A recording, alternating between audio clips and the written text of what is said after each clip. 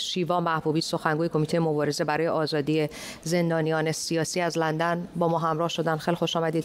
خانم محبوبی می‌بینیم که معترضان امروز علیرغم سرکوب شدیدی که در جای جای کشور وجود داره باز هم اومدن و اعتراض ها رو ادامه میدن. شما تحلیلتون چه هست؟ از این ادامه اعتراض ها خب ببینین همونطور که اشاره کردین انتظار می‌رفت شاید انتظار می‌رفت که این اعتراضات کمتر بشه و ادامه پیدا کرده.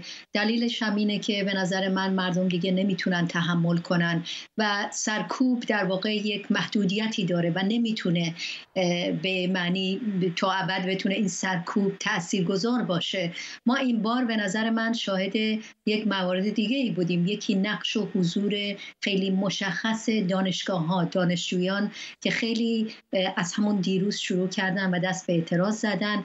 یک مورد دیگه بود معمولا زمانی که اعتصاب قبلا هم در کردستان داشتیم اعتصاباتی صورت گرفته. این بار اعتصابات در 24 شهر بود ولی در این حال اعتراض در خیابان ها هم وجود داشت. همونطور که مردم میگن که فقط کف خیابون به دست میاد حقمون و از طرف دیگه مجددا ما حضور زنان رو دیدیم. من خدمتون این رو هم بگم. ما گزارش هایی که می‌گیریم واقعا نشون میده چقدر حضور زنان حتی بیشتر از این ویدیوها هستش. ما این بار یک مورد دیگه که شاهدی بودیم اینکه داشتیم قبلا هم در اعتراضات زنان رو سریاشون رو برداشتن. ولی این بار بسیار وسیعتر و سراسریتر و سازماندهی شده بوده. یکی از گزارش هایی که ما گرفتیم این بود که در واقع یه جوری بود که زنان در خیابان اونا بودن که مامورین رو فراری می‌دادن و خیلی سازمان داده شده مخصوصا در تهران اونجا عمل کردن. وقتی تمام این موارد کنار هم می‌ذاریم می‌بینیم مردم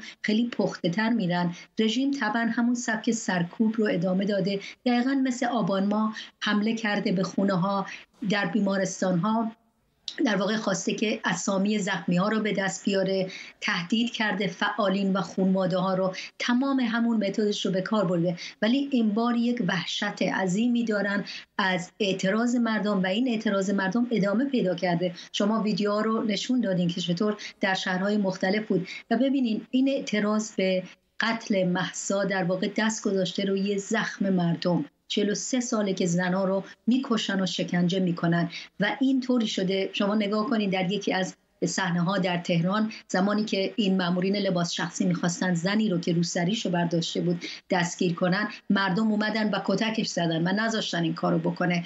این همبستگی که به قول مردم میگن از کردستان تا تهران شروع شده در شکل اعتراضات بسیار به نظر من در نوع خودش بی سابقه تمام اقشار رو در بر گرفته ولی خوب داره پیش میره به این شکل. اما من نکته ای که بفرمایید اگه سوالی داریم من نمی‌دونم بله خانم مشروبی شما اشاره کردید به حالا تفاوتی که شاید این دور از اعتراض ها داره و پیوستن جنبش دانشجویی بهش. فکر می‌کنید که چرا این جنبش پیوست به اعتراض های کنونی؟ مدتی بود که به هر حال از اعتراضات دانشجویی خبری نبود. دلیلش چه هست؟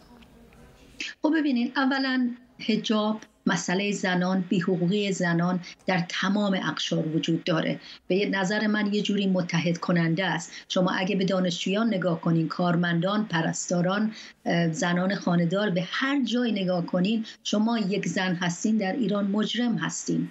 پاتون رو از خونه می‌ذارین نمی‌دونید چه بلایی سرتون میاد. به نظر من به خاطر اینکه مسئله زنان مسئله بیحقوقی که چه ارز کنم مسئله جنایت علیه زنان بسیار نهادینه شده در جامعه. هر کسی همین حالا شما نگاه کنین محسا زمانی که برادرش می‌خواست جلوشو بگیره نذاشتن و دستگیرش کردن. در دانشگاه ها ما سالهاست شاهد جداسازی جنسیتی هستیم. شاهد اخراج دانشجویان به خاطر هجاب هستیم. به نظر من دانشگاه ها یکی از جاهایی بود که پیش قدم بود در مبارزه علیه هجاب اجباری. به همین دلیل من این بار موضوعش فرق می‌کنه. هجاب مسئله هستش.